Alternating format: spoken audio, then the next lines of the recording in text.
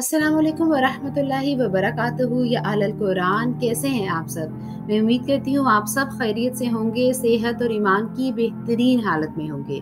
अल्लाह सुबहान ताला के दिल से शुक्रगुजार होंगे कि उसने हमें इतनी तौफीक दी कि हम बेहतरीन तरीके से रमज़ानुल मुबारक के रोज़ों को रख सकें, कुरान को जो खूबसूरत किताब अल्लाह का कलाम इस महीने में नाजिल हुआ, उसको पढ़ सकें, उस पर गौर व फ़िक्र कर सकें और उसको अपनी ज़िंदगियों में शामिल कर लें। अब अल्लाह सुबहान ताली से सिर्फ़ यही दुआ है कि अल्लाह सुबहान ताली हमारे रमज़ान को, गैर रमज़ान को एक जैसा कर दे।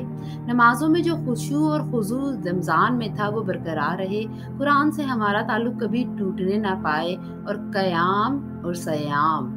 हमारे रमज़ान और विदाउट रमज़ान जारी रहे। आइए आज कुछ ईद की सुन्नतों के बारे में समझते हैं और कोशिश कर सकते हैं कि जितनी सुन्नतें हम अपना सकते हैं, अपनाएँ, ताकि हमारी ईद खुशियों भरी, सुन्नतों भरी और खूबसूरत हो जाए। जेब और जीनत। इब्ने अब्बास रज़ी अल्लाह से रिवायत है कि रसूल सल्लल्लाहु अलैहि वसल्लम ईद के रोज़ सुर्ख धारियों वाली चादर पहना करते थे। ईद वाले दिन अच्छे कपड़े पहनना, साफ़ लिबास पहनना मसवाक करना, खुशबू लगाना, अपने आप को सजाना, संवारना। अल्लाह के लिए ये सुन्नत है। एक बहुत बड़ी अचीवमेंट है कि आपने रोज़े रखे, नमाज़ पढ़ी, अल्लाह को याद किया तो खूब जेब जेबो जीनत से लुत्फानंदोज हो, खूब प्यारे लगे और खूब खूब अल्लाह का शुक्र अदा करें। तकबीरात पढ़ना अब्दुल्ला बिन उमर रज़ी अल्लाह ईद के दिन सुबह सुबह सूरज निकलते ही ईदगाह तशरीफ़ ले जाते और बुलंद आवाज़ में तकबीरें कहते जाते। यहाँ तक कि जब इमाम खुतबे के लिए मंबर पर बैठ जाता तो तकबीरात पढ़ना छोड़ देते। अल्लाह अकबर अल्लाह अकबर, अल्लाह सबसे बड़ा है। इस बात को तस्लीम कर देना और सर तस्लीम खम हो जाना कि या अल्लाह, तू सबसे बड़ा है, तेरी ही तौफीक थी कि हम रोज़े रख सके।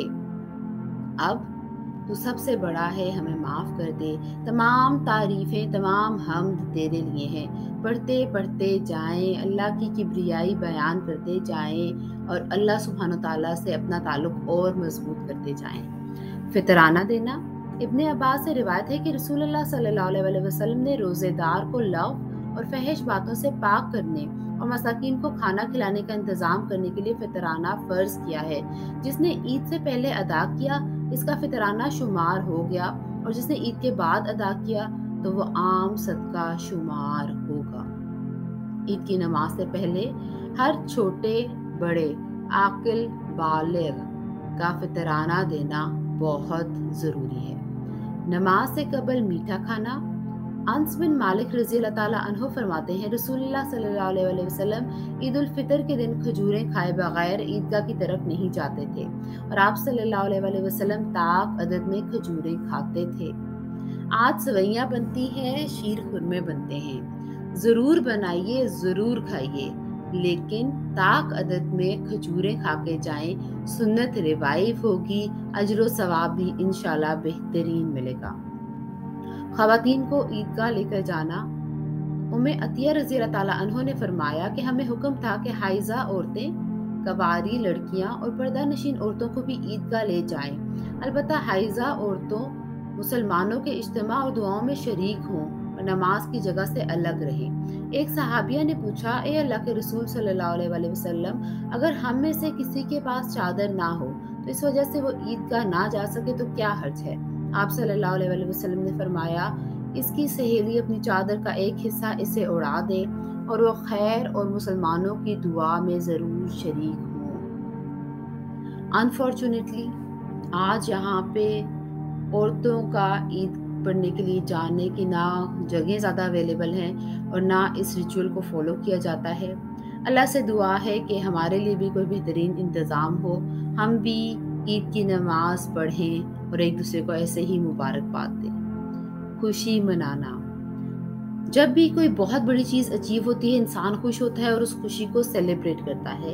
ईद का दिन मुसलमानों के लिए बहुत खुशी का दिन है, क्योंकि रोज़े रख चुके होते हैं वो अल्लाह की तौफीक से नमाज़ें पढ़ चुके होते हैं, तरावियाँ मुकम्मल हो चुकी होती हैं, कुरान मुकम्मल हो जाता है।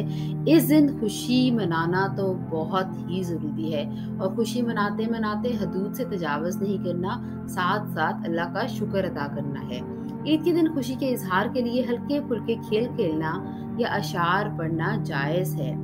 जी हाँ खुश हों, खुशी मनाएँ, एक दूसरे को मुबारकबाद दें, लेकिन हद से तजावज़ नहीं करना। नमाज़, ईद और खुतबा। इब्ने अब्बास रज़ी अल्लाह से रिवायत है कि नबी करीम सल्लल्लाहु अलैहि वसल्लम ईद के दिन निकले और ईदगाह में दो रकत नमाज़ पढ़ी। आप सल्लल्लाहु अलैहि वसल्लम ना इससे पहले नमाज़ पढ़ी, ना इसके बाद। अब्दुल्ला बिन उमर रज़ी अल्लाह से रिवायत है कि रसूलुल्लाह सल्लल्लाहु अलैहि वसल्लम ईद उल अज़हा और ईद उल फितर की नमाज़ पढ़ते और खुतबा नमाज़ के बाद देते। अगर किसी की ईद की नमाज़ बाजमात छूट जाए तो दो रकत तनहा पढ़ ले।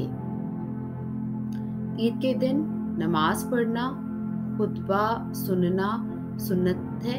इसके अलावा अगर ईद की नमाज़ छूट जाए तो कोशिश करें कि अलग से दो रकत पढ़ ली जाए। बाहम मुलाकात और दुआ। जुबैर बिन नुफैर अनहु से रिवायत है कि नबी करीम सल्लल्लाहु अलैहि वसल्लम ने सहाबा ईद के दिन आपस में मुलाकात करते तो एक दूसरे को दुआ दिया करते। कि अल्लाह सुबहान ताला आपके रोज़े कबूल करे, आपकी दुआओं को कबूल करे, आपके क़याम और सयाम को कबूल करे। आज जब सबसे मिले, एक दूसरे से मिले तो दिल से एक दूसरे को दुआ दीजिए और एक दूसरे के लिए खैर ख्वाह बन जाइए। रास्ता तब्दील करना। जाबिर रज़ी अल्लाह से रिवायत है कि नबी करीम सल्लल्लाहु वसल्लम ईद के दिन एक रास्ते से जाते और फिर दूसरा रास्ता बदल कर आते। जाते, आते तकबीरात पढ़ते जाते। इससे क्या होता कि बहुत से लोगों से मुलाकात हो जाती और हर जगह अल्लाह की किबरियाई, अल्लाह की बड़ाई की गूंज से बुलंद हो जाती।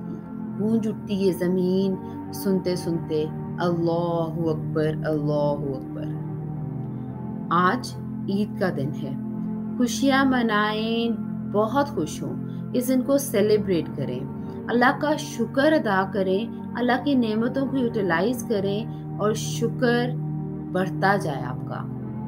खूब अच्छा खाएँ, खूब अच्छा पहने और उसके बाद खूब अच्छे अच्छे काम करें। खुशी में भी अपने रब को नहीं भूलना। अल्लाह सुबहान ताला को हर खुशी में याद रखना है, उसका शुक्र अदा करते रहना है। अपना ख्याल रखिएगा, ईद को बहुत खूबसूरती से सेलिब्रेट कीजिएगा। अल्लाह सुबहान ताला से दुआ है कि वो हम सबसे राज़ी हो जाए, हम सब के रोज़े, हम सब की इबादतों को कबूल करे। अपना ख्याल रखें, दुआओं में याद रखें। असलकम वरहमल वर्का